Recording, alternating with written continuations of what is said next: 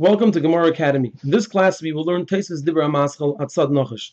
Let's begin by looking at the flowchart of the Gemara so we can see what part of the Gemara Tosfos will be explaining. Here we said that we presented the teaching of Shmuel that anywhere throughout the dinim of Shabbos where it says pater, it means pater but aser, except for three times where it's pater and mutter, and that is hatzad tzvi, hatzad nachash, and meifis morsa. If a person trapped a deer, if a person trapped a snake, or if a person popped a boil. Those are the three cases where it says pater and it means pater and mutter. That's the part of the Gemara that Tosfos will come to explain. Here's a general outline of Tosfos. The Gemara presented the teaching of Shmuel that hatzad nachash is pater and mutter.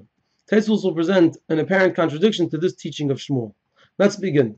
Shmuel taught that in the case of Atzad Nachash, the person is putter and mutter for capturing the snake. The Baal Halachos Gedolos asks that it seems that Shmuel is contradicting himself. What's the contradiction? Because over here it comes out that Shmuel holds Malacha Shein Legufa is putter. Because why is it that the person who trapped the deer, uh, trapped the snake, why is it that it's putter and mutter? It should be chayiv. He did a malacha. The answer is that it's a combination of two things that bring it to be mutter. Number one, it's malacha shein tzrich legufa, and Rav Shimon holds that malacha shein tzrich legufa is putter, but then it should still be usher. How does it become mutter? Because of the size of the person that it gets from the snake, it therefore it therefore is mutter. So here we see that Shmuel says tzad nachash is putter and mutter.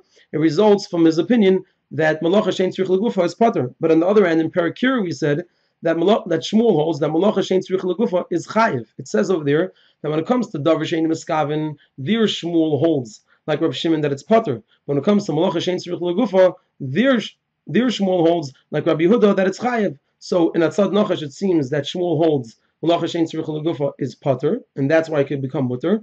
And in Parakir we clearly said that Shmuel holds malacha shein tzrich legufa is chayiv. Tosfos answers, he brings an answer from Rabbeinu Tam that when Shmuel said that Atzad Nachash is Pater and Mutter, he wasn't saying that he holds it's Pater and Mutter. He was just saying that when the Mishnah says Pater, it, it's proven that it must mean Pater and Mutter, and that has to be based on the opinion of Rav Shimon, although he himself doesn't agree with it. So in other words, it comes out that Shmuel was saying Atzad Nachash, the case of the Mishnah of Atzad Nachash, where it says Pater, it must mean Pater and Mutter, and therefore it has to fit with the opinion of Rav Shimon. That Mishnah goes with Rav Shimon, but he himself disagrees with Rav Shimon. He holds like Rabbi Yehuda that Malacha Shein Tzrich Legufa is Chayev. Tosfos now concludes and tells us the actual din of Malacha Shein Tzrich Legufa, and he says the din is that it's Potter, and the reason is because Rava, who was a later opinion than Shmuel, ruled that Malacha Shein Tzrich Legufa is Potter.